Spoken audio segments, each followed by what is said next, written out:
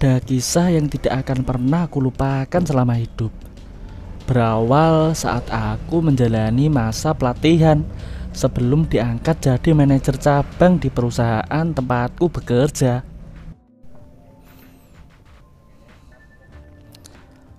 Karena kinerjaku yang menjanjikan, pihak kantor pusat merekomendasikanku menjadi manajer kantor cabang yang tentu membuatku merasa amat begitu bahagia.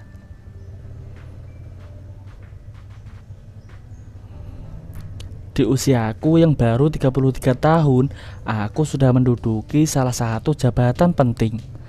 Suatu pencapaian yang luar biasa menurutku. Tapi sayang, dengan karir cukup cemerlang, tak menjamin segalanya.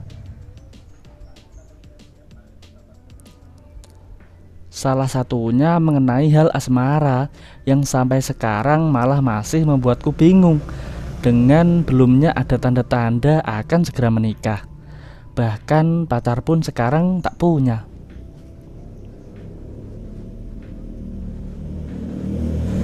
Namun aku tetap harus melangkah maju Selain demi masa depan juga untuk kedua orang tua Dan saat aku akan melakukan pelatihan di kantor pusat Aku sempat bingung. Kantor pusat terletak di ibu kota negara ini Yang berada di pulau seberang. Rencananya selama seminggu aku akan tinggal di sana. Ini kali pertama aku menginjakan kaki di ibu kota negara.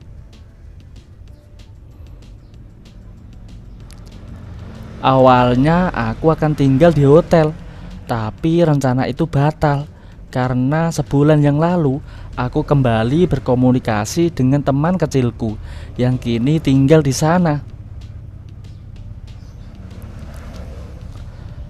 Saat tahu aku akan ke sana, dia menawari untuk tinggal di rumahnya saja. Memang kami cukup dekat sewaktu kecil, tapi saat masuk SMP kami terpisah karena dia ikut orang tuanya merantau ke ibu kota. Setelah dipikir matang-matang dan melalui berbagai pertimbangan, akhirnya aku putuskan untuk menerima tawaran dari Asep, bukan nama sebenarnya, temanku itu. Setelah semua barang yang diperlukan sudah ku kemas, kini tinggal berangkat ke bandara. Sengaja aku mengambil penerbangan pagi agar sampai di sana aku bisa istirahat sejenak sebelum kerja esoknya.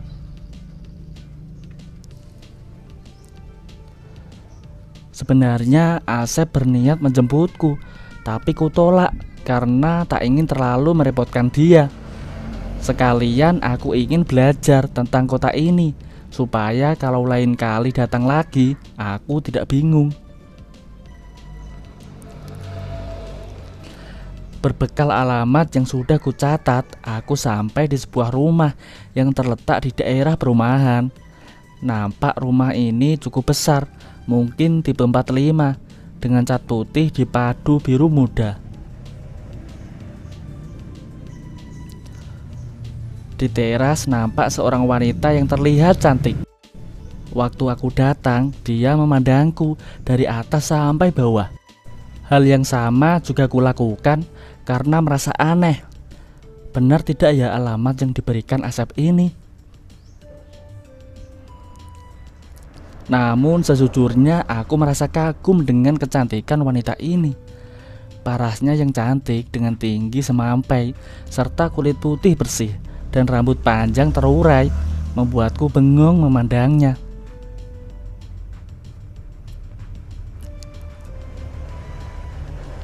Mungkin ini yang dinamakan bidadari tak bersayap. Membuat jantungku berdegup lebih kencang. Ditambah bodinya yang juga begitu sempurna. Aku betah berlama-lama memandangnya Dan mengagumi keindahan itu. Cari siapa ya mas? Tanya wanita itu sedikit berteriak dari atas. Sedangkan aku masih di halaman. Sontak saja aku tersadar Ini mbak benar rumahnya Asep Kataku memastikan. Iya benar. Saya Heri mbak, temannya Asep Ucapku sembari tersenyum ramah. Tak seperti tadi setelah ku sebut namaku Wajah wanita itu nampak lebih bersahabat daripada tadi.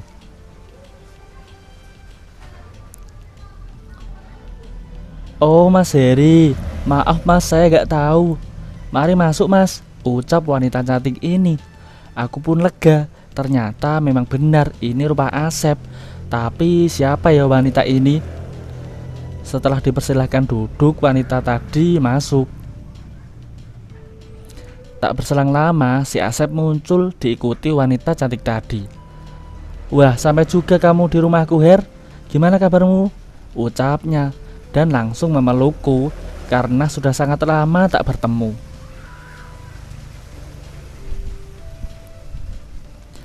Baik, jadi orang sukses kamu sekarang, Sep. Gak nyangka kamu sekarang jadi gemuk gini. Kataku yang kaget, tak menyangka perubahan teman kecilku ini.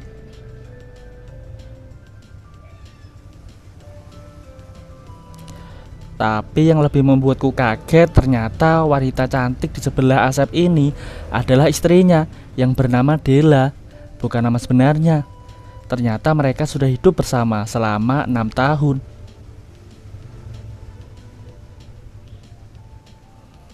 Tapi sampai sekarang mereka berdua belum juga dikaruniai momongan. Meski sekarang tahu siapa wanita cantik ini tak membuat rasa kagumku berkurang.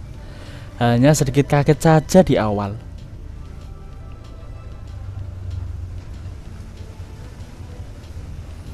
Tapi untungnya aku mampu menutupi rasa kagetku Dan kini kami bertiga ngobrol santai di ruang tengah Aku dan Asep menceritakan masa kecil kami Pada Dela yang banyak tertawa mendengarnya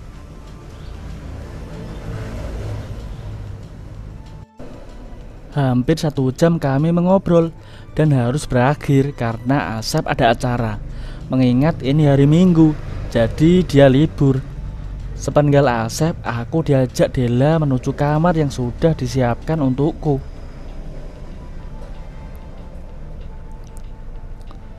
Makasih ya Mbak Dela, saya jadi ngerepotin kalian. Ucapku saat sampai di depan pintu kamar. Gak repot kok mas, malahan saya seneng. Di rumah jadi rame kedatangan Mas Heri. Ucap Dela sambil tersenyum. Terlihat senyum Dela begitu manis dari bibir tipis yang berwarna merah. Sungguh beruntung si Asep mendapat wanita secantik ini Andai saja masih ada pastinya aku tak akan menolak.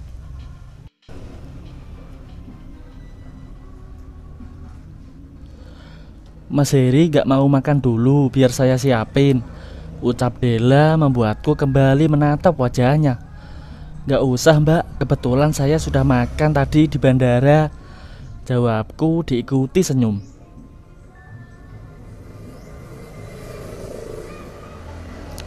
Ya sudah, saya permisi dulu kalau Mas Heri mau istirahat Aku pun hanya mengangguk dan melihat kepergian Dela dari belakang nampak sempurna di setiap lokasi sampai sulit untuk berpaling.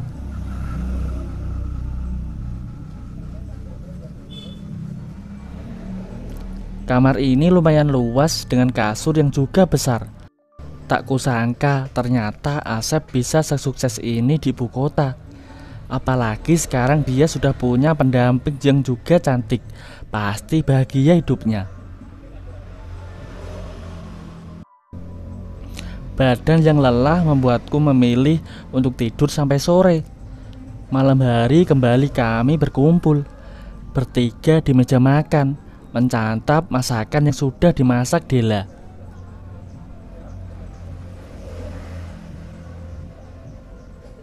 Ternyata selain parasnya yang cantik, Dela juga jago masak. Semua menu yang ia hidangkan begitu lezat. Rasa-rasanya aku semakin kagum dengan sosoknya.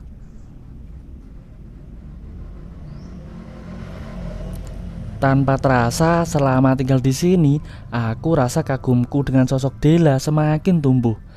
Meski tahu siapa dia sebenarnya, tapi rasa dalam hatiku tak bisa berbohong. Memang aneh, tapi begitu kenyataannya. Ditambah seringnya kami berdua mengobrol bersama karena Dela selalu pulang lebih awal dibanding Asep. Sedang aku yang hanya pelatihan tentu bisa pulang cepat dan tak seperti karyawan lainnya. Suatu sore sekitar jam 5 aku sudah sampai di rumah Karena bawa kunci cadangan jadi aku bisa langsung masuk. Namun sepertinya Dela sudah lebih dulu sampai. Tanpa sengaja waktu aku masuk Dela baru selesai mandi Hanya mengenakan handuk dililit Berjalan ke arah kamarnya. Sontak saja melihatku dia nampak panik dan secepatnya masuk kamar. Aku sendiri malah diam di tempat seperti robot yang kehabisan baterai. Bukan karena capek, tapi aku malah terbayang pemandangan yang indah yang begitu eksotis. Yang jika dilewatkan akan sayang.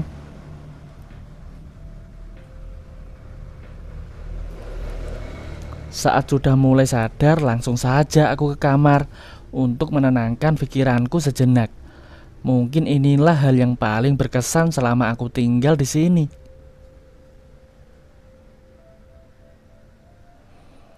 Karena tak ingin terus terbayang, aku memilih mandi supaya pikiranku kembali segar.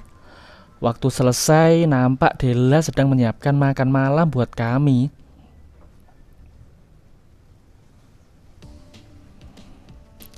Mau dibantu Del? Tanya aku Gak usah Her, ini sudah selesai kok Yuk kita makan Ucapnya Sekarang kami memang memanggil dengan sebutan nama langsung Supaya lebih nyaman didengar Loh, gak nunggu Asep dulu Gak usah, Mas Asep katanya tadi lembur Jawabnya Kantor Dela dan Asep memang dekat Hanya bersebelahan Malah dulu mereka satu kantor, tapi harus berpisah karena peraturan. Kami pun makan berdua dan saling berhadapan. Sesekali ku beranikan diri untuk melirik Dela di seberang yang sejak tadi diam tak seperti biasanya. Mungkin saja dia masih teringat kejadian tadi. Selama makan, tak ada obrolan di antara kami. Barulah saat ku bantu dia beres-beres, sedikit kami bicara, namun terasa canggung. Selesai makan, kami bersantai di depan TV sambil main HP. Del, maaf ya soal yang tadi, aku nggak sengaja, kata aku. Nggak apa-apa kok Her, aku maklumi, aku juga yang salah, ucapnya. Masa kamu yang salah, kan wanita gak pernah salah. Kataku mengajak Dela bercanda. Itu kan cuma istilah, Her. Kata Dela lalu mencubitku. Tapi yang kurasa malah seperti dibelai. Kini kami tak canggung lagi, lebih rileks dan bisa saling bercanda. Obrolan yang terus mengalir dan sesekali saling bercanda membuatku merasa semakin nyaman dekat dengan Dela. Kuberanikan lebih dekat untuk mencoba sesuatu. Siapa tahu beruntung.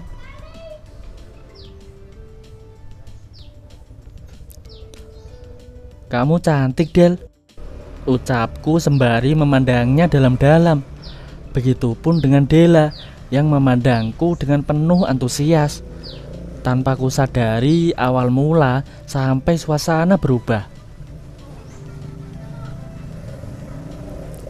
Kini terdengar suara yang cukup nyaring di ruang tengah. Meski aku yang memulai, tapi Dela tidak menolak. Malah menerima dengan begitu antusias. Mungkinkah dia punya rasa sepertiku? Yakin mau lanjut? Tanya aku memastikan. Dela mengangguk dengan tatapan sendu. Gak apa-apa, asal jangan pakai perasaan. Aku sudah ada yang punya. Ucapnya seperti hanya ingin mencari pelepasan. Karena sudah saling sepakat, akhirnya segede papap itu terjadi. Kami sama-sama berusaha mencapai titik puncak. Dari sebuah kesempatan, Dela nampak aktif di setiap saat. Tanpa disuruh, dia sudah paham apa yang harus dikerjakan. Ruang tengah menjadi tempat yang tepat sembari mengawasi situasi agar tetap aman dan terkontrol. Tak kusangka, ternyata aku mendapat lemburan di kota ini, meski sebenarnya salah. Tak ada raut kecewa ataupun lainnya dari wajah Dela. Dia bersikap biasa, seolah semua terjadi karena ada perasaan yang sama dan juga dalam keadaan sadar. Seminggu aku menumpang di rumah Asep teman kecilku ini yang ternyata menyajikan sebuah kisah tersendiri dalam hidupku. Meski mengasihkan, tapi tetap saja ada rasa bersalah pada temanku itu.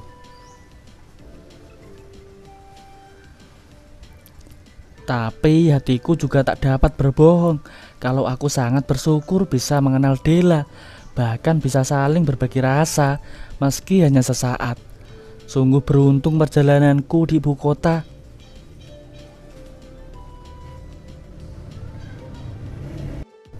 Seandainya bertemu lagi, entah apa yang akan aku katakan. Yang jelas semua itu akan selalu tersimpan dalam ingatanku. Dari suara sampai tekstur yang sungguh sangat menakjubkan.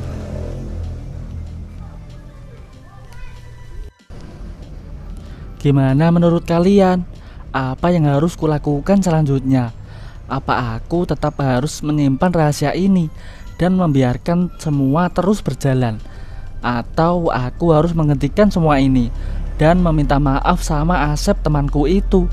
Tulis komentar kalian di bawah dong.